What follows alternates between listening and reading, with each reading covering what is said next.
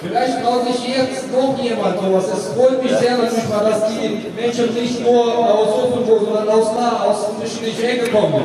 Danke. So, hallo, ich bin auch aus La, bin 35 Jahre alt, bin neun Jahre nach Deutschland gekommen. Ich bin schon eine Weile in Deutschland. Ich denke, ich habe mich gut integriert. Das wird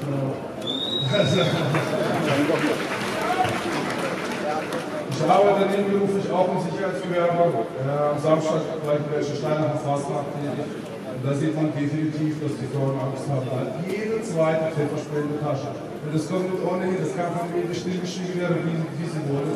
Das ist, das ist, in einer Zeit, es, es, es kann sein, dass ich mir Sorge um meine Frau machen muss, wenn sie irgendwo einkaufen geht oder auf irgendeine Fassungsveranstaltung mit Kindern unterwegs ist und sie nach Hause kommt. Sobald sie bis zu spät ist, fange ich schon an zu suchen. Das, das ist nicht, nicht die Realität, darf nicht sein. Schade ist halt, dass die Mittel für die Polizeibeamten gekürzt werden. Das, das äh, bekommt man immer mehr mit. Und dass sie teils auch an den Orten erscheinen können.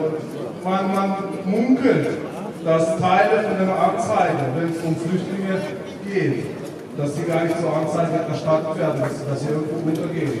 Dass die Zahlen, die veröffentlicht werden, gar nicht so stimmt, das sind wir auch bekommen.